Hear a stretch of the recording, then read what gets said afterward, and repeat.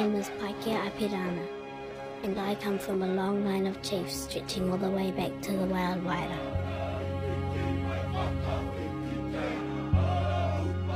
I'm not a prophet, but I know that our people will keep going forward, all together, with all of our strength.